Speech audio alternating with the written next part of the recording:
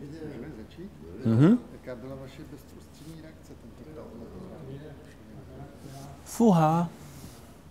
Víte, že se ani jako nevzpomínám? Myslím si, že jsem byl asi v autě a říkal jsem si, o čem jako budu povídat. Tak takový to, a mám vlastně jako co říct. Máte představu, na co se byl? Mm, myslím si, že asi jo. Tak jako poslední půl rok byl divoký, měl jsem spoustu různých eh, zážitků velkých, tak si myslím, že v tom asi bude trošku ta Amerika a nějaký úspěchy, co byly. Měl byste vy otázku na Jana Krause? Ha. Jakože eh, my jako koukáme doma, takže vlastně všechno myslím, že víme. A už hlavně jsem tady po třetí, takže si myslím, že jsme jako z branže, že víme všechno možný. No ale asi, co mě zajímá je, kolik procent z toho, co se tady člověk dozví, se dá jako zapamatovat.